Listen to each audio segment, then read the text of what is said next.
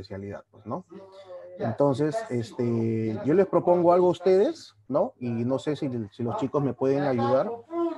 Este, si no, los chicos me pueden ayudar que durante la, durante la charla levanten la mano si desean hacer algún tipo de pregunta, si tuviesen algún tipo de duda, normal, yo voy a estar presto a, a resolver sus dudas para hacerlo de alguna manera más amena, ¿no? Y bueno, la idea es de que esto sea un conversatorio más que una exposición como tal, para evitar dormirlos.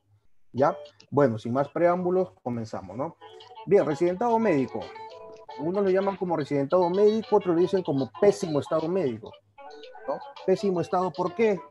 Porque básicamente el residente muchas veces no es un residente, al menos acá en el país, sino es un resistente, pero es básicamente un nombre como parte del cariño el cual nosotros, este, el cual nosotros dentro de la, dentro de la jerga residente que tenemos y dentro de las nuevas instituciones hospitalarias nos dicen, ¿no? Pero es básicamente un cariño que nosotros, que a nosotros nos brindan, ¿no?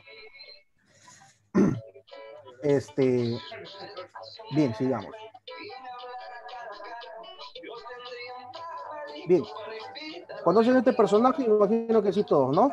Bien, pues este personaje es el cantante de los cantantes, somos todos el señor Héctor Lavoe, el cual tiene una canción que se llama Todo tiene su final, ¿no? Pero en realidad muchos de nosotros cuando estamos en el pregrado pensamos en llegar al internado y, decir el último día de clase de la facultad, sí, pues todo tiene su final, terminó, pero en realidad es un final, como se diría, es el final del comienzo. ¿Por qué? Porque el final del comienzo, ya que este es un largo camino, es un largo camino que seguimos todos nosotros, ¿no? Entonces, es por eso que lo puse, que puse la cara a este señor y la, y la frase que él también dice, ¿no? Y bueno, estos señores que están aquí abajo, la verdad que yo no sabía quiénes eran hasta hace poco, que bueno, estaba queriendo hacer la presentación.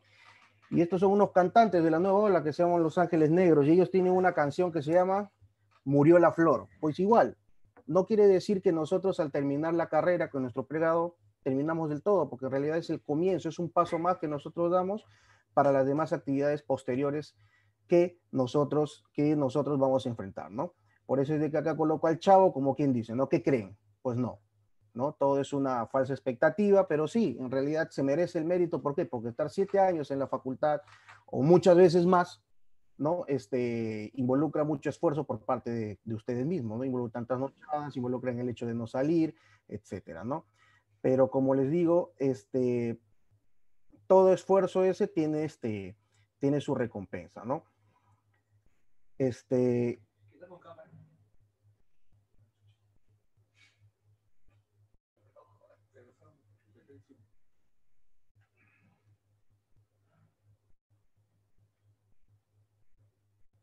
Hola. Sí, se le escucha, doctor. Ya, ok. Un segundo, ya tuve algún problemita. Y ahora sí. Bien, este, entonces como les decía, ¿no? Eh, ustedes que están en pregrado como tal, pues al igual que yo en su momento tenía un montón de dudas.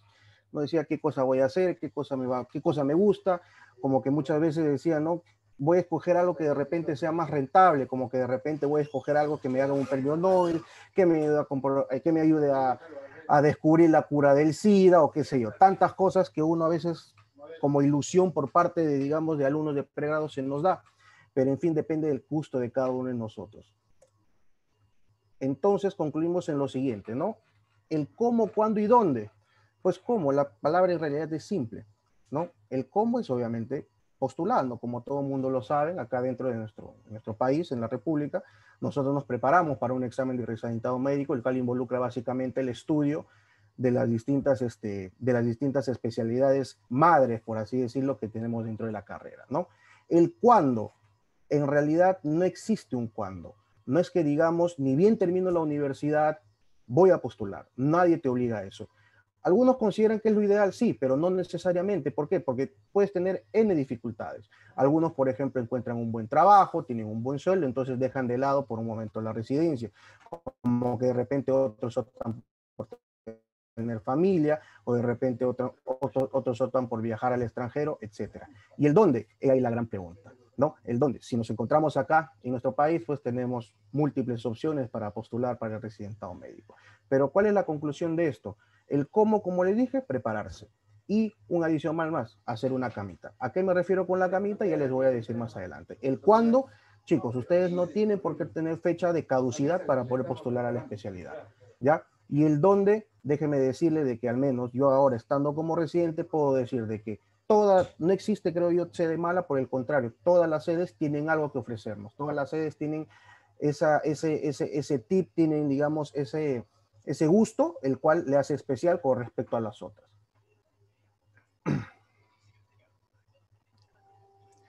Como les decía, ¿no? El momento en el cual no sabes qué hacer, ese momento en el cual no sabes qué hacer. ¿Cuándo se da ese momento que no sabes qué hacer? La verdad, le estoy sincera, a mí me pasó cuando, cuando bajé del CERU. Yo terminé la universidad, bueno, mm, bueno, me presenté para el CERU, me fui como serunista y al momento de bajar dije, no, bueno, entonces, ¿qué hago? Postulo la especialidad, trabajo un año o postulo el próximo año, ¿no? O sea, ¿en qué momento? Eh, llega ese momento en que, digamos, no sabes qué hacer y tienes temor, tienes ansiedad y tienes todo eso. Y se te vienen un montón de preguntas. Preguntas como, por ejemplo, ¿a dónde postulo? ¿Qué especialidad postulo? ¿No? qué cosa es lo que voy a hacer, si realmente tengo el conocimiento no tengo el conocimiento para postular. Otros que, por ejemplo, tienen este, de alguna manera un colchón económico que han hecho durante el SERUMS y muchas veces optan netamente por prepararse, otros que no, otros llegan y se ponen a trabajar, otros trabajan y estudian a la vez, en fin, tienes un montón de caminos para que tú decidas, ¿correcto?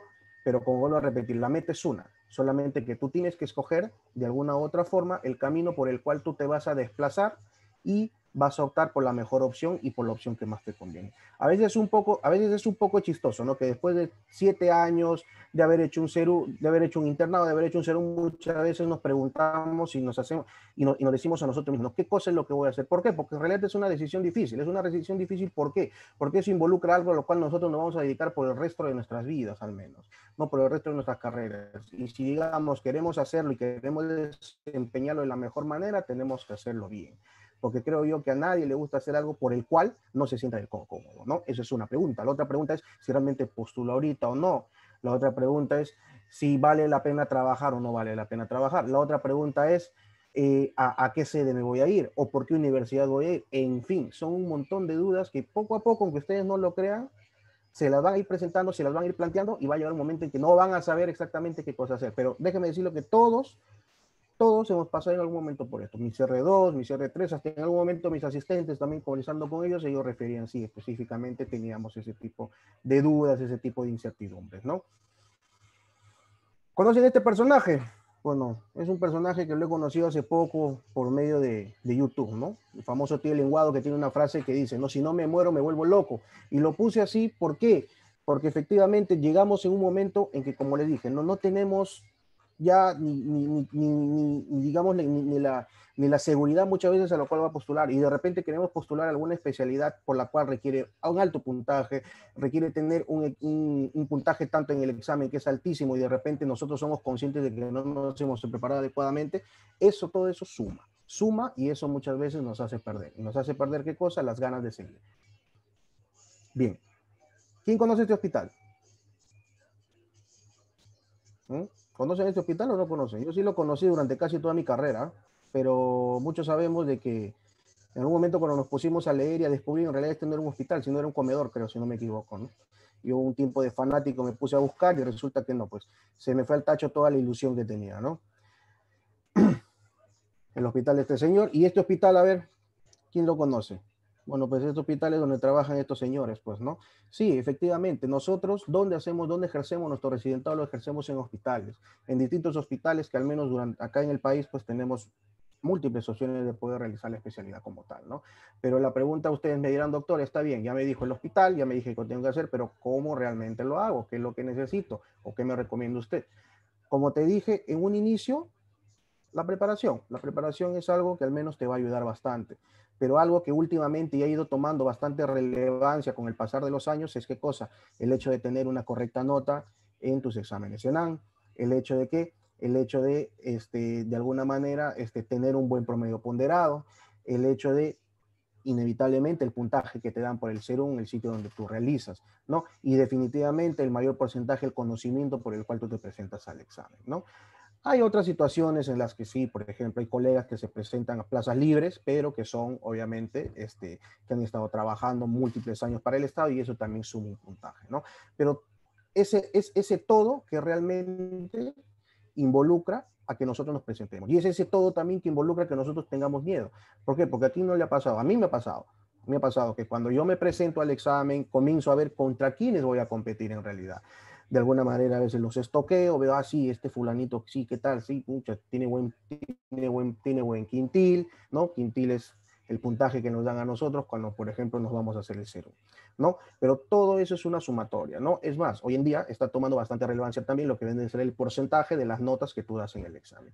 Si bien es cierto, hace dos años lo que era, por ejemplo, materias tales como salud pública, tales como las ciencias básicas, casi no le dábamos importancia, sino simplemente nos abocábamos a estudiar la parte de medicina interna, la parte de ginecología, no la parte de cirugía y pediatría, pero dijeron, a ver un momentito, estamos agarrando memoristas, estamos agarrando técnicos, entonces para realmente medir el conocimiento de ellos y marcar la diferencia de un alumno que se quiere presentar a residentado, tiene que ver lo que vendría a ser la parte básica de la especialidad. Bueno, que en este caso son las ciencias básicas. Donde tenemos las distintas opciones para postular a la especialidad. Como les dije, tenemos a la seguridad social, que es en salud, ¿no es cierto? Que son hospitales que ustedes en su momento se fueron a rotar, ¿no? Su gran, su gran este, adversario, ¿qué cosa es? El Ministerio de Salud, que es un hospital donde yo me encuentro haciendo la especialidad, un hospital del, del MINSA, ¿no? Y tenemos a la sanidad de Fuerzas Armadas, ¿no?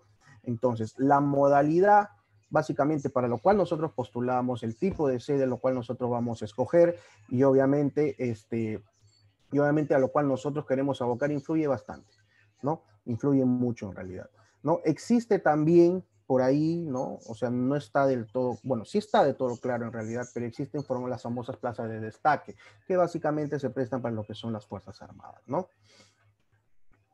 ¿Y cuáles son las modalidades? ¿no? Es una palabra que se me salió en la diapositiva anterior. Pues Aquí tenemos esta imagen. ¿Qué cosa quiere decir esta imagen? Esta imagen hace mención a libertad, ¿correcto? Y la libertad hace plaza, ¿qué cosa? Tener una plaza libre, ¿no?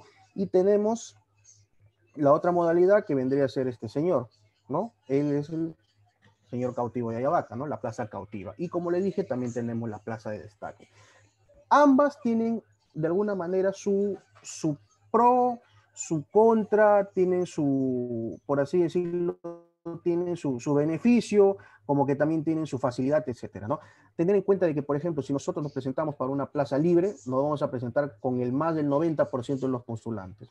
Nos vamos a presentar con el, con de alguna manera, con aquellos postulantes que tienen al menos un nivel de estudio alto, porque no solamente de repente es la primera vez que se presenta, de repente la segunda, la tercera, y por lo tanto tiene más años de preparación, ¿no? Mientras que en la plaza cautiva muchas veces muchas veces se compite contra un grupo de alguna manera no cerrado, pero básicamente hablamos de aquellos colegas que ya tienen un tipo de nombramiento, sea en el Ministerio de Salud, sea en, en salud, en la seguridad social propiamente dicho, como que también, ¿no? Aquellos colegas que básicamente están por una plaza de destaque que usualmente se dan en las Fuerzas Armadas, ¿no?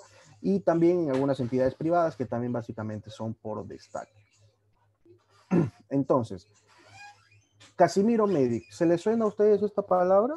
Loaiza Medic, 2 de Mayo Medic, Cayetano Medic, ¿no? ¿Les parece algo familiar ese tipo de palabras? ¿No? Pues sí, en realidad, bueno, yo no estoy haciendo cherry de ningún tipo de academia, pero bien sabemos de que acá en el medio existen varias instituciones que se encargan de preparar al médico para postular, no solamente el examen de residentado, sino también para el ENAN, sino también para el examen de salud, ¿no? ¿Por qué? Porque esta es una competencia que se va dando desde las mismas salas universitarias. Para el que no se dio cuenta, y es que me ha captado la atención de alguna manera, ¿no? Tú realmente tienes que abocarte a qué es lo que tú quieres a futuro, ¿no? Tú realmente tienes que darte cuenta a qué es lo que tú de alguna manera vas a anhelar al tipo de especialidad que vas a querer. Porque sí, está bien dicho de que existen especialidades que son mucho más peleadas que otras. Existen especialidades que, cuyos postulantes tienen mayor puntaje, ¿no? que otros. Existen especialidades por las cuales se presentan 70 para de repente dos, plazas, ¿no? Como que de repente existen especialidades que se presentan un montón y también existen un montón de especialidades. Entonces, nosotros tenemos la facilidad de preparación de este tipo de academia, ¿no? Un día conversando con un asistente decía, ¿no? Que en su tiempo no había eso, ¿no? Entonces uno tenía que prepararse por su propio medio. ¿Qué es lo que yo te puedo recomendar como tip? tú que de repente estás en formación o algo, porque muchas veces enfrentarte a un examen de estos involucra muchos factores, involucra el conocimiento y también involucra la ansiedad, ¿correcto? Entonces, ¿qué cosas, a, qué cosas, ¿a qué cosas es lo que voy con esto? Tú de alguna manera puedes irte entrenando en estos exámenes. ¿Cómo? A veces converso con algunos chicos que están en pregrado y ellos me dicen, no, doctor, ¿qué me recomienda? ¿No? Dice, bueno, ¿saben qué, chicos? Si tienen algunos ustedes la predisposición para querer postular a una especialidad y quieren ir fogueándose sin necesidad, frustración ni nada en el futuro, ¿ya? Preséntense para un examen de salud, por ejemplo, ¿no? O preséntense para el ENAN, que básicamente el ENAN es obligatorio, por los cuales ustedes se presentan como tal. Pues no, y ya después viene el examen de resultado. En igual todo eso suma. Como le dije, todo eso es una sumatoria que al, fin y al, que al final te vas a dar cuenta y vas a decir, bueno, efectivamente, sí, todo esto acarreado y esta es la finalidad por la cual yo quiero, ¿no? Entonces tenemos esas distintas opciones, ¿no?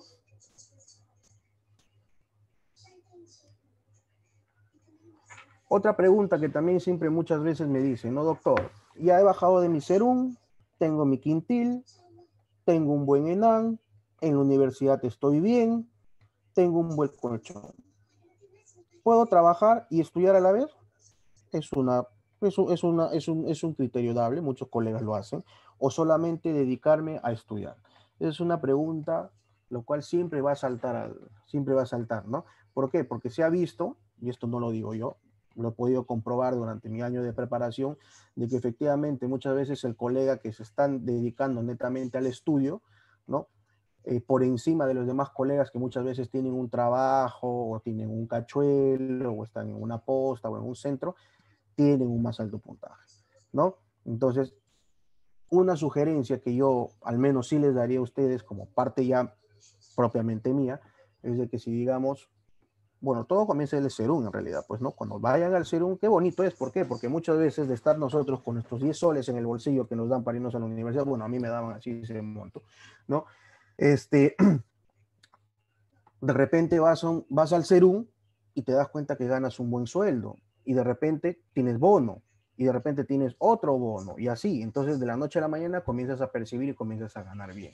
Entonces que no nos gane la locura, que no nos gane la locura del despilfaro, del derroche. ¿Por qué? Por el contrario, chicos, ese dinero júntenlo, ese dinero ahórrenlo. ¿Por qué? Porque el hecho también de postular a la especialidad, al menos acá en nuestro país, independientemente de una guerra de conocimientos, es una guerra, ¿por qué? Por un puesto de trabajo.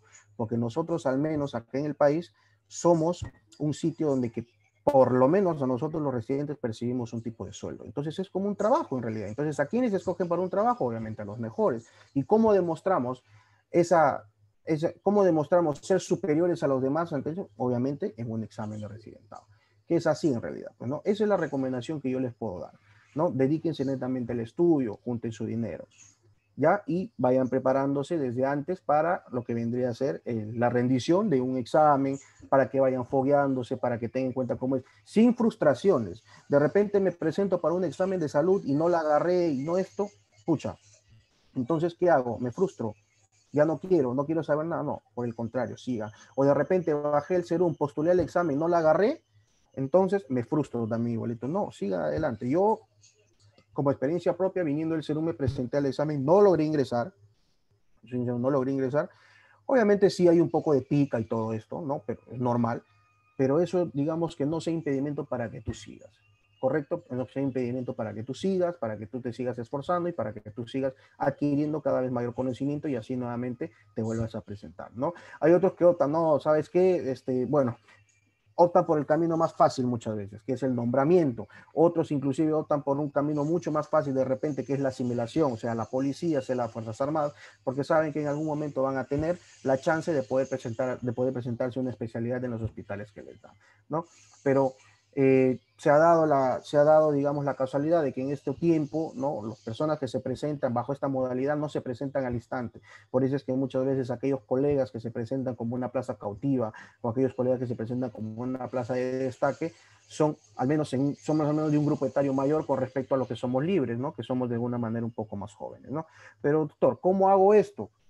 ¿Cómo escojo mi plaza? ¿Cómo escojo mi sede? ¿Cómo escojo esto? Bueno, definitivamente todo esto está normado por quién? Por un ente, que ustedes ya lo saben, que es la CONAREM, ¿correcto?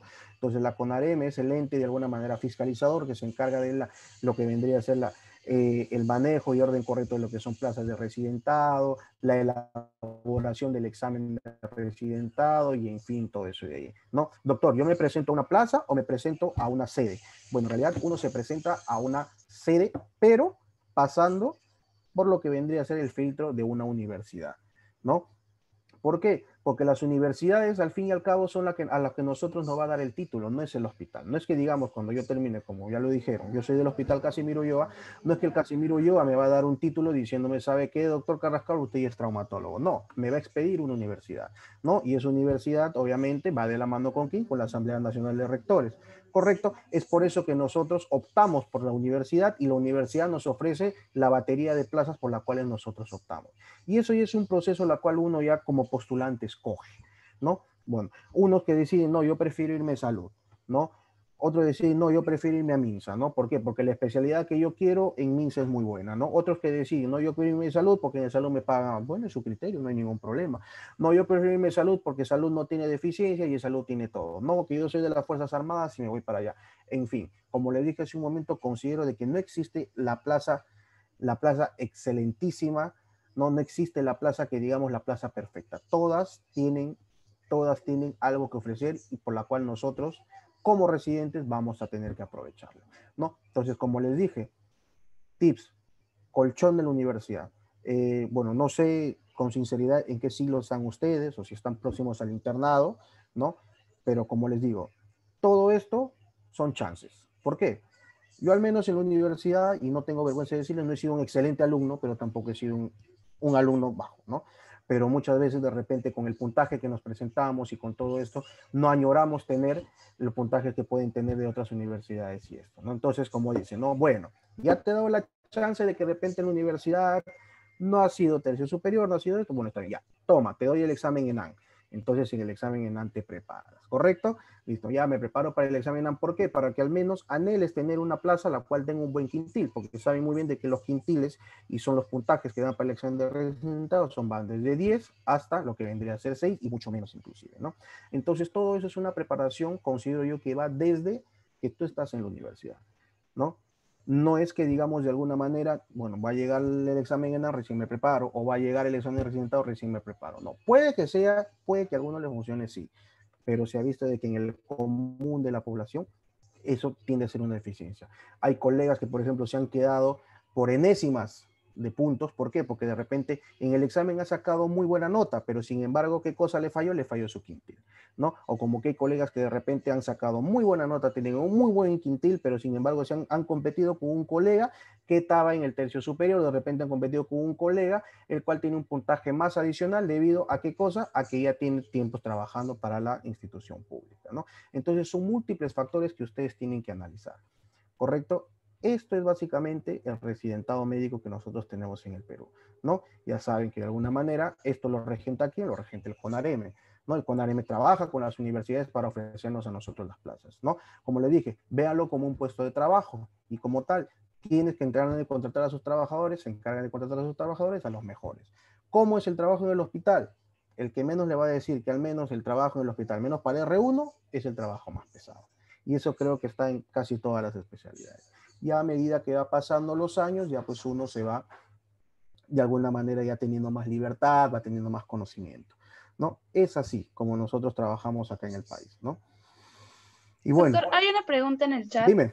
Eh, mencionan, eh, doctor, buenas tardes, ¿a qué se refiere con quintil? Ya, le explico. Este, cuando tú terminas la universidad, ya, cuando tú terminas la universidad, este, bueno, das tu examen en AN y todo. Entonces te presentas para el SERUM, que es el servicio rural, ¿correcto? Entonces el FONCODES, ¿no? Que eh, eh, es el ente gestor, por así decirlo, que se encarga de establecer en dónde se encuentran los distintos centros de salud en todo el país y les da un puntaje con respecto a qué cosa. Así es, de extrema pobreza, pobreza, y eso va de la mano a qué? A cuán servicios tenga, ¿no? Por ejemplo, hay algunos centros de salud que, por ejemplo, no tienen luz. Hay algunos centros de salud que no tienen agua potable. Hay algunos centros de salud que no tienen internet. Hay algunos centros de salud cuyo acceso es bien, este, es bien, este, es bien peligroso, ¿no? Como que hay algunos centros de salud que de repente están en la ciudad, hay algunos centros de salud que cuentan con servicio de luz todo el día, tienen señal de internet, señal de celular, etc. Entonces, ¿qué cosa es lo que hace el FONCODES? A estos sitios los comienza a catalogar como quintiles, ¿no? Un quintil 1 equivale a, un, a 10 puntos. Un quintil 2 equivale a 8 puntos, un quintil 3 equivale a 6 puntos. Te pongo este ejemplo así bien fácil, ¿no? Imaginemos que yo me presento para el examen de residente y compito contigo. Y yo me saco 58 solamente en el examen. Y tú te sacas 60. ¿Correcto? Entonces, ya a ver, hasta el momento tú me vienes ganando. ¿Por qué? Porque en el examen me has ganado. Tienes 60, yo tengo 58. ¿No? O sea, es que si ahí, si ahí se define el examen, tú coges tu plaza. Pero de repente agarra y miran, a ver, ¿dónde ha hecho su serum el doctor que se ha sacado 60? Ah, el doctor que se ha sacado 60 lo hizo acá nomás por, este, por Punta Hermosa. Ah, muy bien, por Punta Hermosa. Entonces, Punta Hermosa, bueno, no es un sitio de extrema pobreza, es un sitio que cuenta con todos los servicios, es un sitio que cuenta con ENE. ¿Cuánto le damos? Seis puntos. Entonces, 60 más 6, 66, ¿correcto? A ver, y el doctor que se ha sacado 58, ¿dónde es que ha hecho su serum? Ah, no, mire, este doctor se ha ido a la frontera, por ejemplo. No, sí, en la frontera. ¿Cómo llegaba el doctor a su puesto? Escucha, que llegaba en burro, llegaba en bote, ¿no? Ha salido, tiene esto, ¿qué tiene eso? No, pues no tienen nada, no tienen ni teléfono, no tienen ni luz, vive con indios disculpando la palabra, obviamente nada racista, vive con, con chipivos, ejemplo, ¿no? Que ha sido mi caso. Yo cuando me fui a hacer Cerú, yo me fui al punto, a un punto fronterizo, ¿no? En la selva de Ucayali. Ya, entonces, ah, entonces el doctor tiene sus 10 puntos. ¿Por qué? Porque el lugar donde se encuentra su centro de salud es un sitio que no tiene, con, no tiene lo que son los servicios, no tiene, luz, no tiene luz 24 horas, no tiene agua potable, no tiene teléfono, en fin, no tiene muchas cosas. Entonces, al doctor, como es un quintil 1, es un sitio de extrema pobreza, tiene sus 10 puntos. Entonces, 58 más 10, 68. ¿Correcto? Y 60 más 6, 66. Entonces, ¿para quién, quién ganó la plaza? El doctor, que obviamente se sacó 58. ¿Por qué? Porque le ganó su quintil. Entonces, muchos optan ya cuando se presentan al CERUM, escoger las plazas que tienen quintil 1, que son 10 puntos. ¿Por qué? Porque de alguna manera aseguras bastante. No, ¿por qué? ¿Por qué? Porque de alguna manera eso va a implicar que cuando tú te prepares para tu examen de residentado, ¿no? La brecha, ¿no? De puntaje que tú vas a necesitar para generar una plaza va a ser mucha menor, ¿no? Ese, por eso el ejemplo que yo les daba, ¿no? Ese es el famoso quintil, ¿no? El quintil que nos da, este, en este caso, el Estado para nosotros escoger una persona. Hay algunos que simplemente dicen, no, doctor, yo solamente quiero hacer mi, quiero hacer mi, mi serum acá, a, no sé, acá en, en, la ciudad. Ah, bueno, no hay ningún problema. ¿Por qué? Porque es también lo que quiere. De repente ese colega no tiene pensado hacer la especialidad acá, piensa irse de repente a España, piensa irse de repente a Estados Unidos. Entonces, él de alguna manera no le preocupa eso, no es algo que le quite el sueño. ¿No? Y es por eso que ese colega obviamente decide hacerlo ahí, con todas sus comodidades, con su sueldo y todo. También existe el, el, el serum equivalente, que obviamente te da el puntaje, pero no te da el sueldo que tú ganas como serumista, ¿no? Es eso en realidad. ¿Alguna duda al respecto que tengan sobre eso o no les quedó claro?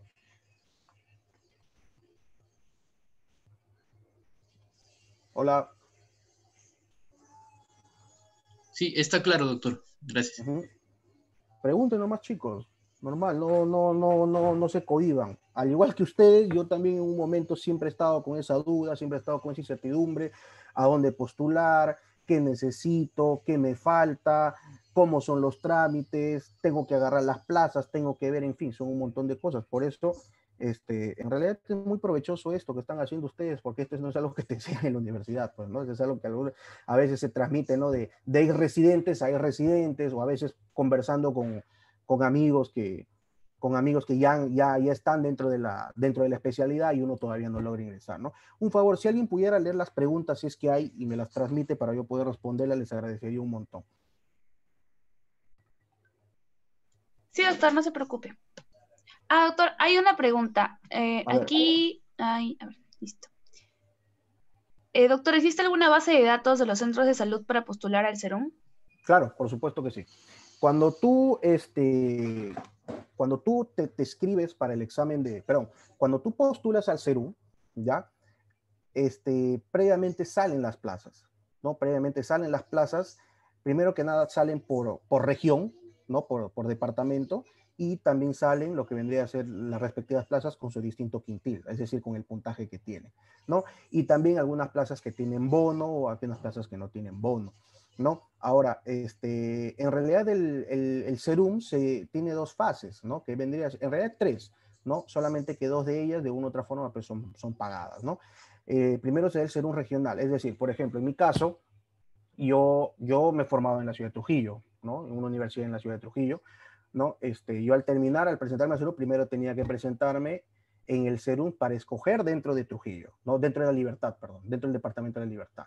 Bueno, la Libertad como tal no tenía muchas plazas para la cantidad de médicos que éramos, ¿no? Entonces, yo creo que mi puntaje no daba para agarrar una plaza ahí en la Libertad. Entonces, automáticamente yo ya paso al, a la elección de plazas o a la adjudicación de plazas a nivel nacional que ya se da aquí en Lima, donde que todas las plazas que han sobrado, todas las plazas que de repente han renunciado ya se suman y van los médicos que se han quedado sin plaza en la adjudicación regional y comienzan a escoger qué plaza, qué plaza elegir. ¿No? Es eso básicamente. Y tú ves, ¿no? Tú ves ahí al momento de la inscripción la base de datos, todas las plazas que hay. Es más, inclusive hay grupos en Facebook, yo me acuerdo que se llamaban Serums Plazas Rentables, si no me equivoco, ¿no? En la que tú preguntabas, ¿no? A ver, este serunista de tal puesto, ¿no? Y el serunista a veces de repente si tenía internet o si no tenía internet contestaba y decía, sí, este, es buena, hay acceso, hay luz las 24 horas, hay señal, eh, hay lugar donde puedas comer, este, la gente es tranquila, ¿por qué? Porque ha habido casos, por ejemplo, de violencia, ¿no? Este, la gente te ayuda, tienes técnico, no tienes técnico, tienes obstetra, no tienes obstetra, tienes ambulancia, no tienes ambulancia, en fin, todas esas cosas. No, sí hay, sí hay en realidad. Yo cuando me presenté al, al CERUM, me acuerdo que, que comencé a buscar, ¿no? Y marqué mis opciones, ¿no? Y bueno, las opciones pues iba tachando, iba tachando a medida que vas escogiendo, pues, ¿no? Entonces llegó un momento en que ya me llamaron a mí escoger y obviamente estaba la plaza que yo quería y me fui por ella. porque Yo qué cosa es lo que más vi? Yo más vi lo que era el quintil, básicamente, y por una parte también el bono, pues, ¿no? Porque, o sea, si escoges una, una plaza con bono, obviamente es un adicional más de sueldo que te dan, ¿no? Al sueldo base que ya, que ya tienes, ¿no? Pero obviamente eso me costó, ¿qué cosa? Que yo me fui a una plaza muy alejada. ¿no? Una plaza en la que, cual, por ejemplo, yo no tenía servicio de luz las 24 horas, una plaza en la cual no tenía señal de teléfono, ¿correcto? Una plaza en la cual no tenía servicio de agua potable, ¿ya? Entonces, bueno, yo hice por la sanidad del ejército, ¿no? Hice una base militar en la frontera, nosotros no teníamos agua potable, teníamos que lavar nuestra ropa en el río y todo esto, ¿no? Entonces, sí hay, sí existe. En su momento, cuando lleguen, en su momento, cuando ustedes quieran presentarse, van a poder verificar y van a poder escoger y van a poder también preguntar a los colegas que están allá o a los colegas que están saliendo, ¿no? Inclusive algunos recomiendan, no, esta plaza es recomendable para hombres, sin afán de de discriminación de género ni nadie, ¿no? Ni nada de eso, ¿no? O sea, ahora que está de moda todo eso, ¿no? O sea, hay algunas plazas que dicen, este, no, pues esta plaza recomienda mejor para hombres. ¿Por qué? Porque el acceso es difícil, porque es peligroso, porque hay bastante, no sé, por ejemplo, en la zona del Bray hay bastante terrorismo todavía, ¿no? Están los ronderos, en fin, todo esto, ¿no? Sí hay, sí existe. Tengan la seguridad que sí lo van a tener en su momento.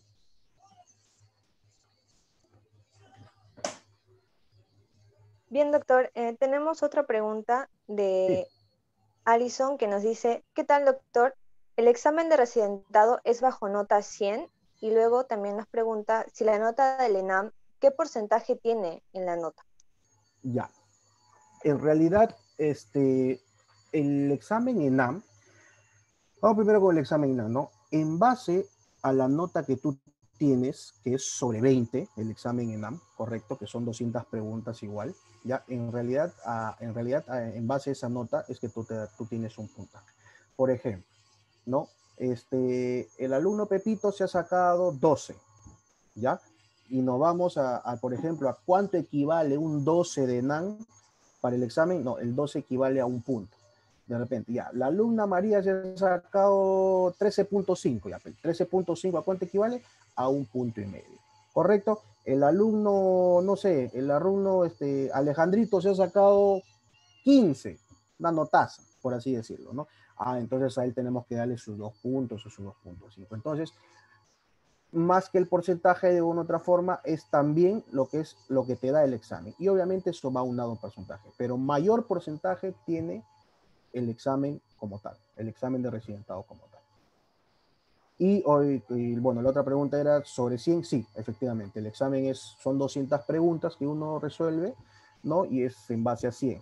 Pero eso involucra muchas cosas, no solamente involucra el examen como tal, ¿no? Como te dije, involucra lo que es tu promedio ponderado, involucra el hecho si has estado o no has estado en el quinto superior, o si has estado en el tercio superior, involucra también a qué plaza de ser un ha sido, involucra también tu examen en año.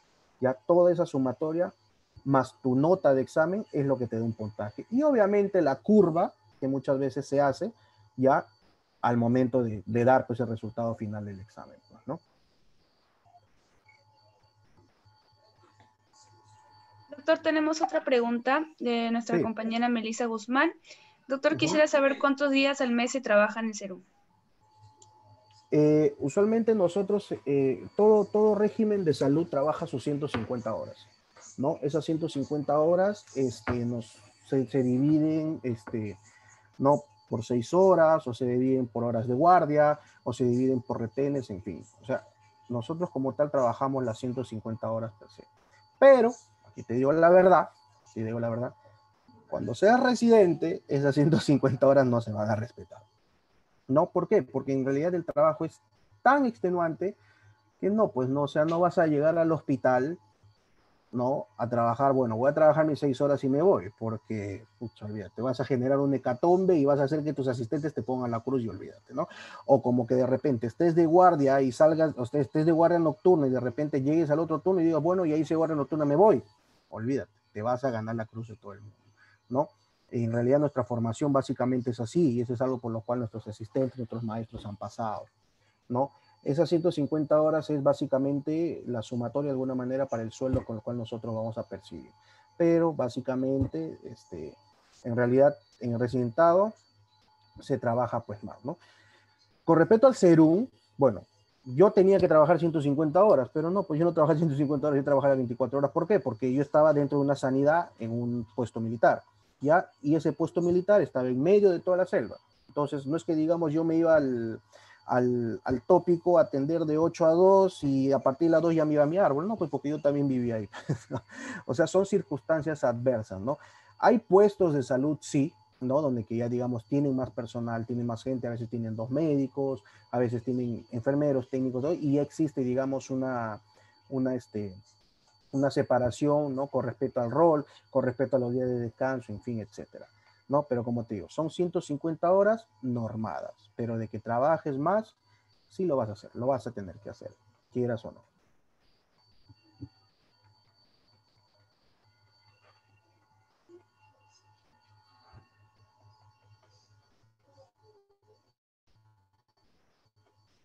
Hola. Sí, doctor. Eh, tenemos una siguiente pregunta que es de Elise Scaliti, que nos dice, doctor, buenas noches, ¿qué especialidades son las más peleadas? Ahí está, ahí comienza lo bueno. Eh, en realidad, para escoger la especialidad más peleada, involucra muchas cosas, creo yo. Involucra el hecho de, digamos, escoger unas especialidades que van de la mano con lo lindo, así yo le, así yo le pongo ese nombre, que va de la mano con lo, con lo rentable, ¿correcto? Que va de la mano tal vez con, con, con, el, con el hecho de, tener una especialidad la cual infles, el pecho y digas, no, paso, soy esto, pues, ¿no? Primero dividámoslo, ¿no? Tenemos las especialidades quirúrgicas y tenemos las especialidades este, clínicas, ¿no? Entonces, si hablamos de especialidades quirúrgicas, la que la vedette, que siempre ha sido, ¿no? Siempre ha sido por muchos años, ha sido la cirugía plástica, ¿no? La cirugía plástica es de alguna manera la especialidad que de una u otra forma te requiere un mayor puntaje. Por eso es que muchas veces en el historial de exámenes de residentado, las notas de plástica pues no te bajan de 89, no te bajan de 98, perdón, de 88, están a veces en 90 o a veces por encima de 90, ¿correcto? ¿Qué otras especialidades más? Tenemos, por ejemplo, oftalmología, tenemos urología, traumatología, neurocirugía, que básicamente son especialidades que de alguna otra forma te requieren un, puntaje al menos alto para que tú puedas postular, ¿no? Dentro de las especialidades clínicas, ¿no? En este caso estamos hablando, la, la BD de la especialidad clínica es la dermatología. La dermatología ha ganado bastante peso hoy en día, ¿no? ¿Pero por qué? Porque, o sea, es igual que el cirujano plástico, ¿no? Hay algunos cirujanos que se dedican básicamente a la parte reconstructiva, pero bien sabemos de que no es así. ¿No? Sabemos de que en nuestro medio la mayoría de los cirujanos plásticos se dedican a hacer estética y obviamente la parte estética, uno, que ninguna empresa aseguradora de seguro creo que no te cubre, y segundo, que este, hay bastante gente que obviamente busca, ¿no? Y la gente que busca verse bien, o al menos la gente que busca, este, al menos la gente que busca, este, que busca, este, que busca, no sé, algún arreglo o algo, es básicamente gente que cuenta con el dinero. En dermatología lo mismo, ¿no? En dermatología hay la dermatología clínica que básicamente se dedica a ver lo que son las, las distintas afecciones dermatológicas como tal, como que también está la dermatología estética, ¿no? Muchos colegas que se dedican a hacer tratamientos estéticos, eh, teniendo básicamente el sustento de lo que vendría a ser la especialidad dermatológica, ¿no? Eh, luego de la dermatología tenemos, por ejemplo, a la cardiología, que también requiere un alto puntaje, últimamente está agarrando bastante peso la endocrinología, por ejemplo, por el mismo hecho de que hoy en día la obesidad pues está aumentando bastante, ellos manejan bastante estos temas, igual los pacientes con diabetes, en fin, todo eso acá. ¿Qué otra especialidad que me estoy olvidando? Dermatología, cardiología, dermatología, neurología también un poco. Y hay algunas especialidades que, ojo, no quiere decir, escúcheme, y tenganlo presente esto, no quieren decir que las especialidades sean fáciles de ingresar para ellos. No, no, yo voy a postular esta especialidad porque es fácil, porque el puntaje es bajo. No, no es así. Porque en realidad toda especialidad, en toda especialidad siempre va a haber al menos el primer puesto que va a tener un notón, ¿correcto? Pero han ingresado todos, hasta ingresó el más bajo. Sí. ¿Por qué? Porque es el número de plazas que dan. Por ejemplo, hay muchas especialidades, una de ellas es ginecología, la cual cuando, cuando salen sus plazas, pues salen bastantes, ¿no? Salen bastantes plazas, ¿no? Otra de ellas es, por ejemplo, este, medicina de emergencia, ¿no? Que tiene bastantes plazas. Anestesiología, por ejemplo, a veces manda, pues, ¿cuánto? 12 plazas, 15 plazas, 18 plazas, ¿no? Por una sola universidad, imagínate, ¿no? Porque ellos tienen campo, pero hay especialidades que de una u otra forma solamente, pues, abren una. Aquí en Casimiro Yoga, por ejemplo, para, para si, tú, si tú deseas ser este neurocirujano, solamente tienes una plaza al año. ¿Ya? Y si tú quieres ser traumatólogo aquí en el hospital, solamente tienes dos plazas al año, de las cuales una es libre, ¿correcto? Y la otra es cautiva. O sea, como la gran mayoría somos libres, es como si estarías postulando por una sola plaza en este hospital, ¿no? Entonces, otros optan por presentarse a otros hospitales que tienen más plazas, ¿no? Por ejemplo, Cayetano Heredia, en mi especialidad, ¿no? Cayetano Heredia en su sede, para el año que yo me presenté tenía seis plazas, es un montón, pues, es un bolo. Y si a eso le sumamos las otras plazas que oferten otras sedes hospitalarias, obviamente suma, ¿ya? Es eso. Entonces, cada especialidad de alguna manera siempre va de la mano muchas veces, aunque no lo crean, del punto de vista económico, ¿no? A veces cuando yo digo, ¿qué especialidad estás haciendo? Ah, bueno, estoy haciendo ortopeo. Mucho te gusta la plata. o sea, siempre, siempre hay, ese, hay, ese, hay, esa, hay esa leyenda que muchas veces nos dicen a nosotros, ¿no? Pero como les vuelvo a repetir, si tú no, no te vayas por el hecho de que es muy peleada, sino vete por el hecho de que qué es lo que te gusta. Yo estando, yo inclusive antes de, de presentarme, se me pasaron muchas veces N cosas por la cabeza. Digo yo, mejor me presento a una especialidad que no requiera mucho puntaje, cosa que aseguro, porque traumato de alguna manera es peleada. ¿no? De repente me presento a una especialidad que no, que, que tenga bastantes plazas, cosa que así me aseguro, ¿no? Pero no hay mejor especialidad, creo yo, que es la que te gusta. Y si tú quieres esa especialidad, búscala, búscala, ¿no? Búscala, estudiala, ve las tendencias, ve ve cómo son las curvas de, exámenes, ve cómo son, o sea, es un, es un, es un proceso en realidad. Yo me acuerdo que cuando estaba en mi preparación, ¿no? A veces me juntaba con mis compañeras y decían, ya hay que hacer nuestra curva, ¿no? A ver, el año pasado, ¿cuánto se sacó el primer puesto en tal universidad? Se sacó tanto. En el primer puesto, no, cholo, esta, esta plaza no te conviene porque este año seguro se va a presentar bastante gente. A ver, esta plaza, no, yo creo que esta plaza sí te puede convenir porque en base a tus, a tus exámenes, a tus simulacros que tú das en las distintas academias, como que tu puntaje se acerca, ¿no? Al, al promedio de notas que das acá. Y entonces, es como, es como un análisis psicotécnico, matemático, lingüístico, algebraico que a veces tienes que hacer para poder escoger una plaza. Como que hay, por ejemplo, colegas que, digamos, sacan un notón, sacan un notón, sacan un notón en el examen, sacan una nota infinitísima, pero da la casualidad de que en la sede, que, eh, perdón, en la universidad que ellos se han presentado, han sido últimos. Y de repente, si se presentaban por otra universidad, iban a ser primero, iban a ser con un notón, ¿no? Eso recuerda un amigo mío que él quería bastante, anhelaba bastante una especialidad, sacó 91, me acuerdo. Pero era, no, no logró chapar plaza, pero si con su 91 se presentaba a las demás universidades, cogía primer puesto en todas. ¿no? Entonces, todo eso involucra ese análisis matemático, algebraico, psicotécnico, todo esto que les digo, que muchas veces en algún momento ustedes van a tener que verlo, van a tener que enfrentarlo para decidir, ¿no?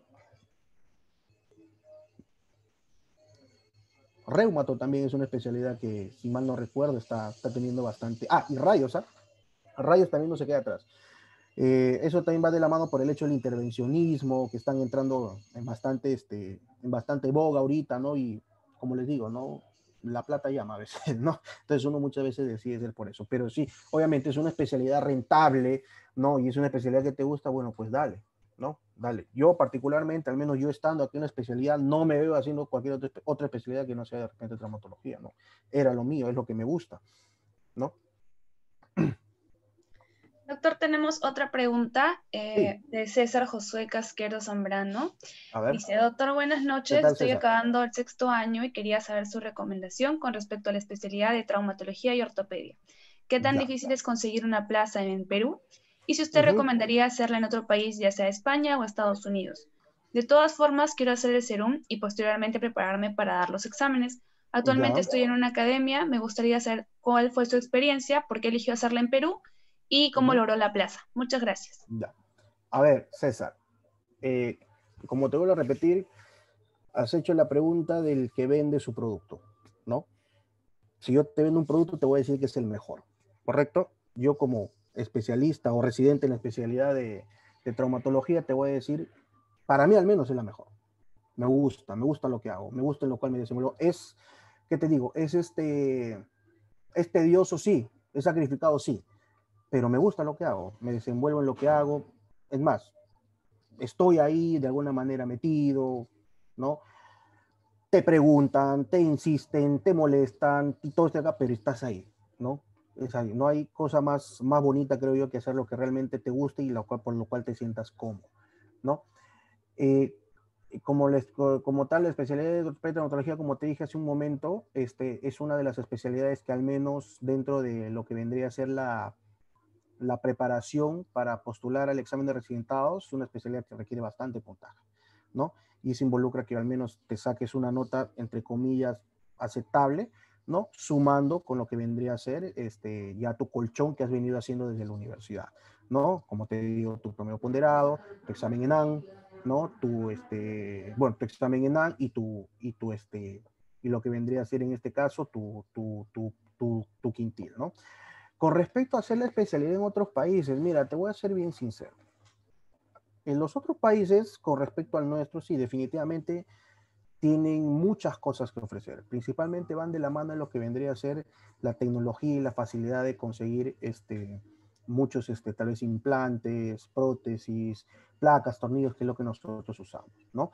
Eh, nosotros en realidad como institución, como Ministerio de Salud, tenemos una deficiencia eh, con respecto a lo que es el seguro integral de salud, que muchas veces se demora en lo que debería ser la adquisición de materiales. ¿no?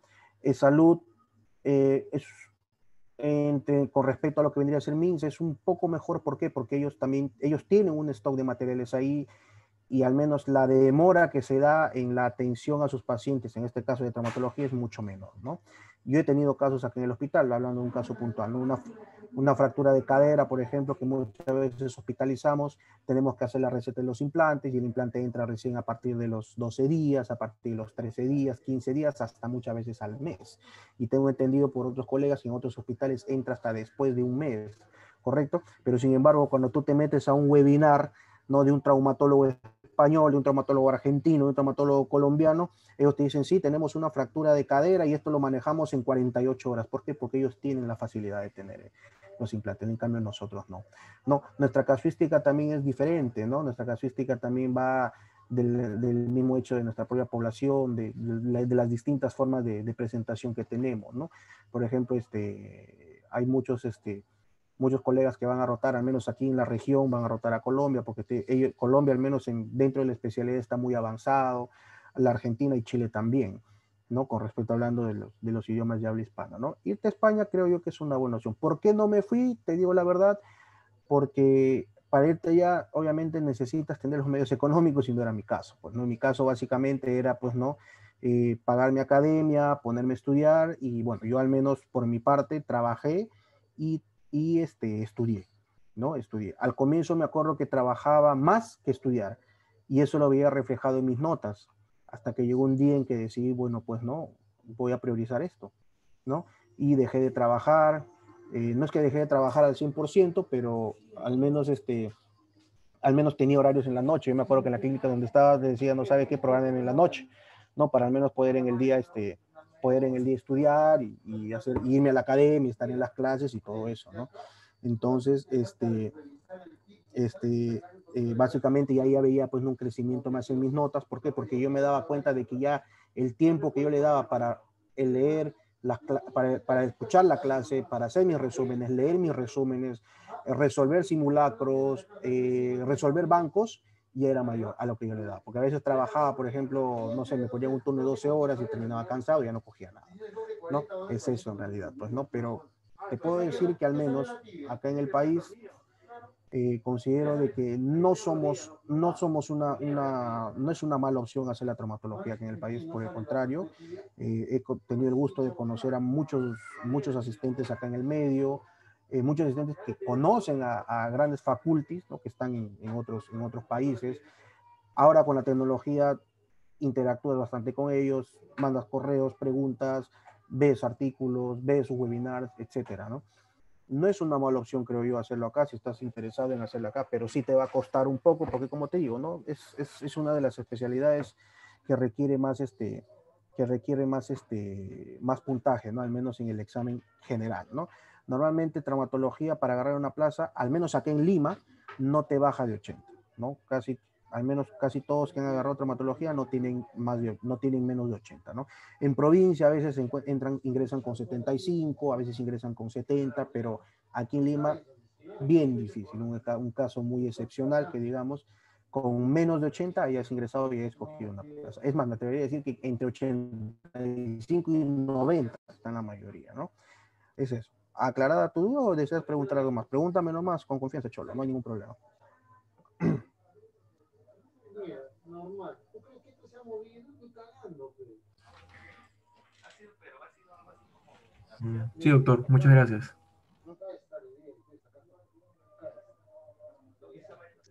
Eh, bueno, doctor, tenemos una siguiente pregunta que nos dice, eh, ¿de dónde se podría obtener quizás una base de datos anterior para ir seleccionando una plaza? Supongo que para el SERUM. ¿Usted ya han hecho internado? ¿O están haciendo internado? Yo hoy estoy haciendo internado, doctor, en Casimiro. Ah, listo, yo sé quién eres ya. Ya. este, escúchame, esas, esas, esas, esas plazas, esas plazas, está haciendo ahora acá que estoy igual. Esas plazas en realidad, este, uno las encuentra, pues no entra en internet, entras a la página de, a la página de este, ¿cómo se llama esto? A la página, bueno, la página con Areme no. Este, no me acuerdo del ente que se encarga de hacer el serum, pero ingresas y ahí te sale, ¿no? Y se lo encuentras en todos lados, están ahí publicados. Pones en Google nomás y te sale, ¿no? E inclusive este eh, resultado de examen de residentado médico 2000, 2000 este, 2019, no, no, no, 2018. Yo, por ejemplo, para presentarme para el 2018 tuve que, no, miento, para el 2019 tuve que ver el récord de notas del que se presentó el 2018, del que se vio el 2017, y más o menos así poder hacer mi curva. Ahora, con respecto al, a lo que vendría a ser el, el, las distintas plazas para el SERUM, también lo encuentras, ¿no? También lo encuentras con la inscripción y todo, simplemente colocas, ¿no? Puede variar en un poquito el quintil, pero bien difícil, bien difícil, bien difícil. Pero sí, sí es accesible encontrar. Más bien, bueno, tú que estás acá en el hospital, me haces acordar un día y yo te lo consigo. Gracias.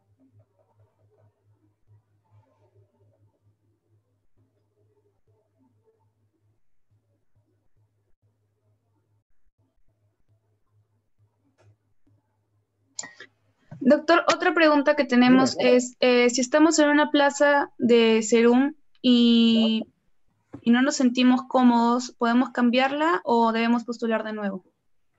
Eh, sí puedes renunciar a tu plaza, pero tienes un tiempo de gracia para hacerlo.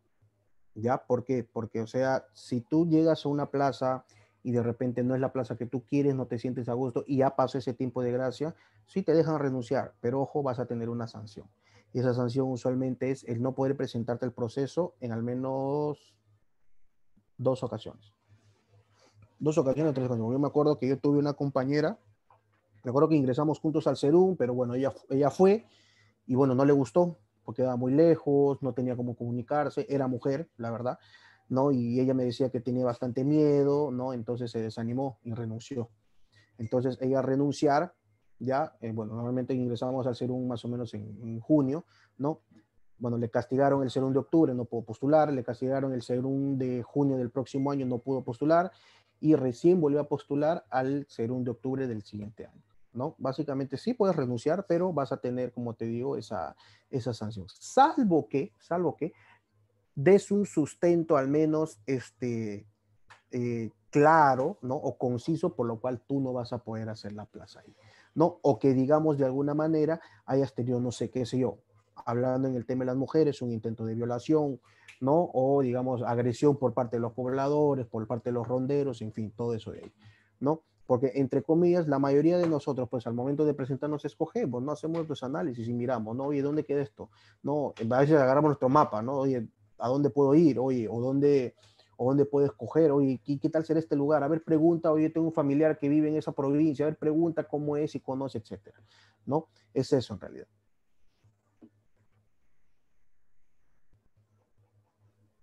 Ok, doctor, muchas gracias. Uh -huh. eh, hay una siguiente pregunta que nos ¿Ya? dice Denis. Doctor, buenas noches. ¿Se postula el residentado por medio de las plazas que te brinda una universidad determinada como San Marcos? ¿O se postula de frente a las plazas que te ofrece un hospital como por ejemplo el OAISA? No, eso fue lo que, eso fue lo que les dije cuando estábamos exponiendo, ¿no? O sea, el que te da o la institución que te da a ti el título como especialista es obviamente una universidad. ¿Por qué? Porque la universidad trabaja con quién? Con lo que vendría a ser la SUDEDO, ¿no? O lo que en su momento era la Asamblea Nacional de Rectores, ¿no? Es igual, cuando tú tengas el título de médico cirujano, vas a tener que ir a SUNEDO, hacer todo tu trámite, ¿no? La foto de tu título y todo esto, ¿para qué? Por ejemplo, si tú quieres ubicarme a mí, ¿no? Entras a SUNEDO, pones mi DNI y va a salir mi título, ¿no? ¿Correcto? ¿No? Sale mi universidad y mi año de, egresado, ¿no? Igual, tú al ser especialista, ¿no? Existe una universidad que te da el título y te reconoce como tal. No es que el hospital te reconozca como tal. Existen otras realidades en las que uno postula al hospital. Una de ellas es el Brasil, por ejemplo, ¿no? En la que muchos de ellos, eh, tengo un amigo que está por allá, ¿no? En la que uno se prepara para postular al, al hospital, ¿no? Y el hospital, pues pasas. Eh, tengo, tengo entendido que pasa lo que vendría a ser examen, bueno, entrevista personal, examen de conocimientos, en fin, otras cosas más, ¿no? Pero acá en, en nuestra realidad, nosotros, la, la, eh, la universidad lo que hace es, bueno, toma, estas son las plazas que yo te puedo ofrecer. Si te gusta, postula por mí, o si no te gusta, ve a otra universidad donde que tiene la plaza que tú presentas. San Marcos cada año manda sus plazas. Ricardo Palma cada año manda sus plazas. San Juan Bautista, eh, UPC creo que todavía no tiene plaza de residentado, si mal no recuerdo. Bueno, mi universidad, yo soy de Lupao, soy de Trujillo, como les dije, ¿no? Este, manda sus plazas. La UNT, que es la Universidad de Trujillo, manda sus plazas y así. Las universidades son las que mandan sus plazas. Ahora, tú me dirás, doctor, ¿y cómo escogen las universidades? Eso es algo que yo no sé. Pero yo imagino que como todas estas universidades pertenecen a ASPEFAM, correcto, y ASPEFAM de alguna manera es un ente regentor ahí, ahí pues está, pues, ¿no? El hecho de de alguna manera poder dar o brindar las plazas y todo esto, ¿no? Pero para concluir, como te digo, tu pregunta, ¿no? Nosotros postulamos por la universidad. Tengo entendido que en, este, en, el, en el destaque uno de alguna manera busca la especialidad, ¿no? Busca, busca digamos, un, una, una institución que normalmente es privada, ¿no? Que te va a dar la plaza y tú ya tienes que buscar la universidad para que la universidad te dé esto, ¿no? En las Fuerzas Armadas es igual. Las Fuerzas Armadas te dan una plaza por destaque, ¿no? Por ejemplo, yo imaginemos que este año me asimilé al ejército, ¿correcto? Y soy capitán médico, ¿ya? Entonces, eh, pasan los años y me dicen, bueno, capitán, y ya puede postular a la especialidad. Entonces yo voy y busco la universidad y la especialidad, ¿correcto? Mejor dicho, busco la especialidad que va a estar en mi hospital, que en este caso, como soy del ejército, tengo que hacerlo en el HMC, el hospital militar, ¿correcto? Entonces, por ejemplo, busco, a ver, a ver, ¿quién tiene plaza de destaque? A ver, yo quiero ser traumatólogo. Ah, ya, bacán. La Richie tiene una plaza de destaque para traumatología en el HMC, por ahí me voy. ¿Me entiendes? Es así. Es así básicamente.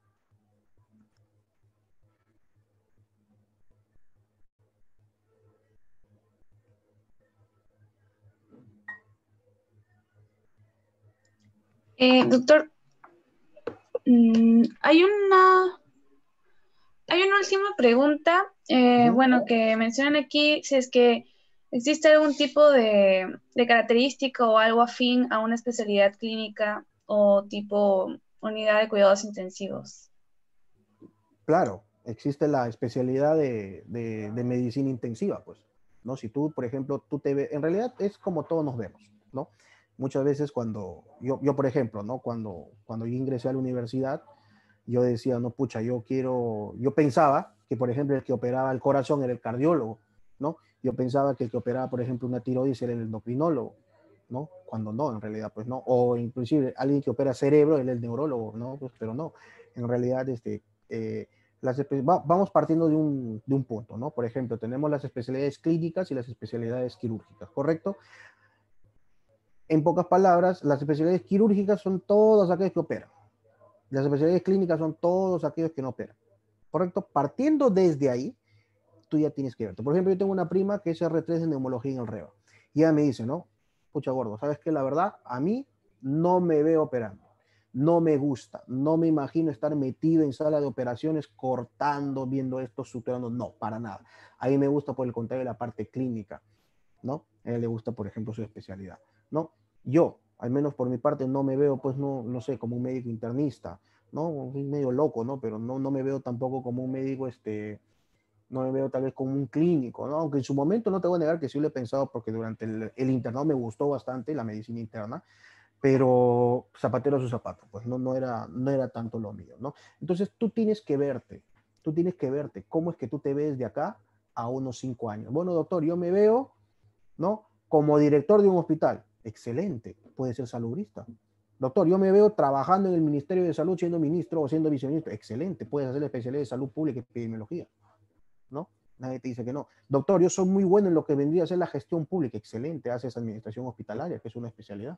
¿No? Porque hay afines. Por ejemplo, yo de administración hospitalaria, por no decir que no sé nada, ¿no? Pero hay, hay, hay, hay, este, hay doctores, por ejemplo, que saben bastante, saben lo que es el tema de gestión, ¿no? Tienen esa afinidad, ¿correcto? Y obviamente se respeta. ¿no? Como que hay colegas que, por ejemplo, se ven en lo que, como tú dices, ¿no? En unidades de cuidados intensivos, en unidades críticas, sí, existe la especialidad que es la especialidad de medicina intensiva, ¿no? Como que hay, por ejemplo, los colegas que están en la unidad de trauma shock, ¿no? Ellos son los médicos emergenciólogos, básicamente, ¿no? Que dan la primera atención a todo paciente que entre en un estado grave a un hospital. Los, que, los que han rotado en algún momento o hacen internado aquí en el Hospital Casimiro, saben de que básicamente nos caracterizamos por el manejo de emergencia y por un manejo óptimo y rápido. ¿no? Independientemente del servicio de trauma shock, las especialidades en general nos dedicamos básicamente al manejo de la emergencia. En mi caso, en mi especialidad, nos dedicamos, y por así decirlo, tenemos al menos la corona de decir de que somos eh, en lo que manejamos la parte traumatológica de emergencia muy, bien, pues, ¿no? En el caso de fracturas expuestas, síndromes compartimentales, artritis sépticas o luxaciones, que son las emergencias traumatológicas más comunes, ¿no? Los pacientes ingresan a sala en menos de 10 minutos o a veces en, dos horas o a veces en una hora, ¿no? Es así. Tienes que verte, tienes que verte en, en, dónde, en, dónde, en dónde te vas a encontrar. No, doctor, yo me veo, por ejemplo, siendo ginecólogo excelente coge la ginecología. No, doctor, yo me veo operando, por ejemplo, un baleado, me veo, por ejemplo, operando, abriendo un, abdomen, no sé qué, cirugía general, cirugía de abdomen. Doctor, yo me veo operando un corazón, excelente. Puede ser cirujano de tórax o cardiovascular. Doctor, la verdad que yo me veo operando una tiroides, cirugía de cabeza y cuello. Doctor, me veo operando un aneurisma cerebral, neurocirujano. Doctor, yo me veo, por ejemplo, haciendo prostatectomías. Doctor, me veo haciendo nefrectomías, urología. Me veo haciendo reducciones óseas, me veo yendo a la me veo yendo a la clínica con mi alicate, con mi martillo, con mi red traumatólogo vas a hacer, ¿no? Como que de repente me veo, doctor, en una junta médica, pasando visitas, discutiendo casos, indagando, pensando en qué patología puede ser la que tenga este, lo que tenga este paciente, qué puede ser lo que aqueja, la parte clínica es lo tuyo, ¿no? Si te gusta bastante eso, ¿no? Una película, me acuerdo que vi hace mucho tiempo, ¿no? Que decía, ¿no? Un, un, un, médico que era infectólogo, decía, ¿no? Que las enfermedades infecciosas son como, como grandes criminales, ¿no? Pero es un criminal que quiere ser descubierto y por lo tanto te deja huellas, que esas huellas son los signos y síntomas. Y nosotros los médicos, pues en este caso él hablaba como infectólogo, ¿no? Decía de que yo soy el detective, ¿no? Soy el que de alguna manera con esas pistas que me deja la enfermedad tengo que descubrir al gran criminal, al gran asesino, que en este caso puede ser una enfermedad de ¿no? Entonces tú tienes que verte, ¿no? Yo tengo colegas que, por ejemplo, tienen Eso, bueno, en, el algor médico también se conoce como la fumada. Bueno, ellos, ellos están metidos en eso. Pues, ¿no? Profesor. Profesor.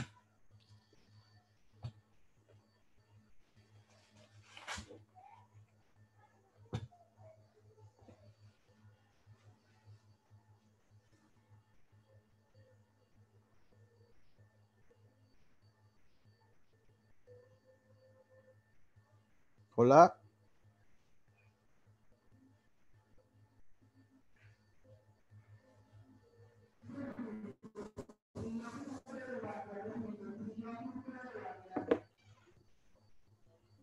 Sí, doctor, disculpe, me comieras. Ujú.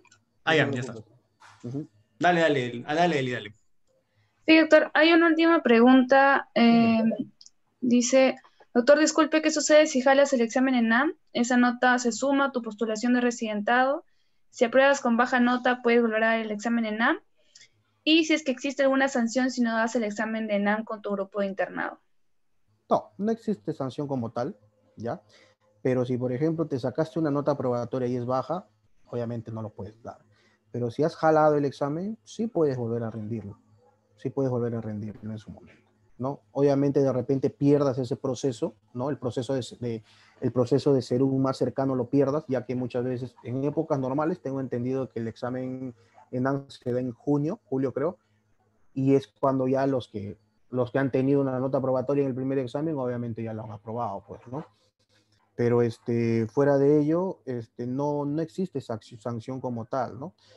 No existe sanción como tal, ¿no? O sea, tú, tú lo puedes, tú lo puedes dar y si lo jalas, lo puedes volver a dar sin ningún inconveniente, pero obviamente ya, digamos, tenlo por seguro que al menos vas a perder un proceso, no vas a perder un proceso de, de, de. Y obviamente al perder un proceso, pierdes tiempo, ¿no? Si tu meta, digamos, es de alguna manera terminar el internado, ingresar al CERUM, entrar, al CERUM y de entrar al CERUM al toque agarrar la residencia, obviamente se va a hacer un intervalo de tiempo que lo vas a tener perdido, ¿no? Y si obviamente diste un examen en NAM y te sacaste una nota probatoria, pero una nota probatoria baja, bueno, pues métete el chip a la cabeza de que uno, tienes que esforzarte para dar un buen examen de residentado, ya que con esa nota baja de examen en NAM, más del 80%, 90% de chance tengas de no coger una plaza con un quintil alto para, la, este, para el serum, pero pagado, ¿no? Porque tranquilamente para el serum, este, eh, ¿cómo es que se llama? Para el serum, este, se me fue el nombre, para el serum que no es pagado,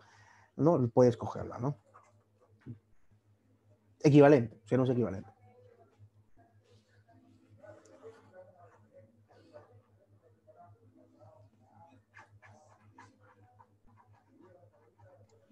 Listo, doctor. Eh, ya no hay Ya. más preguntas. Ya. Bueno, chicos, ante todo, agradezco su, bueno, agradezco su participación, básicamente. Esto en realidad es como un conservatorio, como un conversatorio en realidad, pues, ¿no? Por dudas que muchas veces uno pretende aclarar y todo esto, y es normal. Todos hemos pasado por esto. Yo también le pasó en su momento, no había veces que estaba sentado pensando, pucha, ¿qué hago? ¿Cómo hago? ¿Dónde postulo? ¿Dónde voy? ¿Qué hago? En fin. Todos creo pasamos esto. Y si tengo algunos amigos eh, corresidentes de acá de la especialidad que están escuchando, ellos me van a dar la razón, ¿no? Y para llegar a casa, solamente quiero decirles esto, ¿no? No existe mejor especialidad. Sean la especialidad que a ustedes les guste. No, no se dejen guiar por el hecho de que esa especialidad paga más, no se dejen guiar por el hecho de que, de que esta especialidad este, es relajada, en fin. No hay algunos que, por ejemplo, toman en, toman en cuenta el hecho de que hacen guardias, que no hacen guardias, en fin. Pero si es la especialidad que te gusta, obviamente si te gusta la emergencia, si te gusta la adrenalina, tenlo por seguro que vas a hacer guardias. Si te gusta la ginecología, tenlo por seguro que vas a hacer las guardias y unas guardias matadas. Si te gusta, por ejemplo, de repente, no sé, este, mm, qué sé yo, la medicina interna también, ¿no? Te, te, te, te, te, este, te- te enfrentas con, con, con, con guardias, este, quesos o con pacientes que se complican, en fin, ¿no? Si te gusta, por ejemplo, la, la rama quirúrgica, tenlo por seguro de que vas a pasar horas en el quirófano, vas a tener que, que, que de repente este, curar o hacer cosas que, que no te gustan, ¿no? En fin, ¿no? To- Todo todo, todas esas cosas. Pero si es lo que realmente te gusta, dale, ¿no? Dale, dale.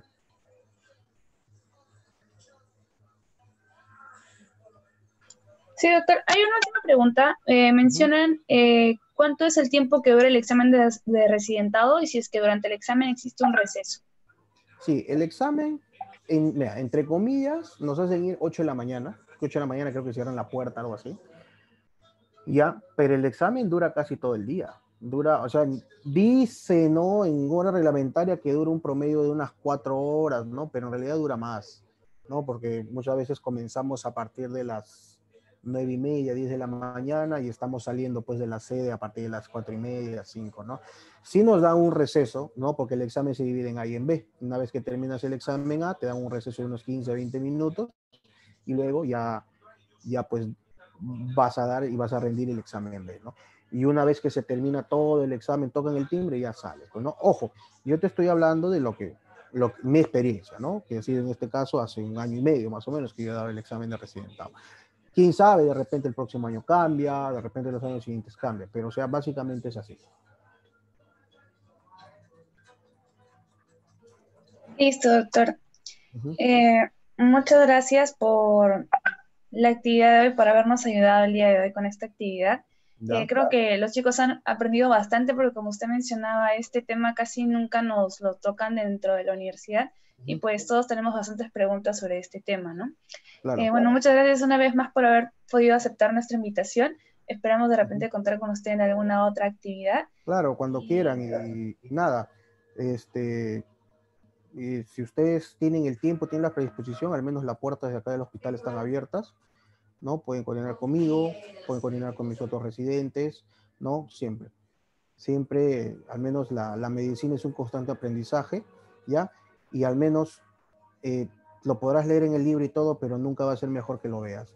Y si te dan la oportunidad de meter la mano, si te dan la oportunidad de enseñarte y hacer bien las cosas, excelente, ¿no?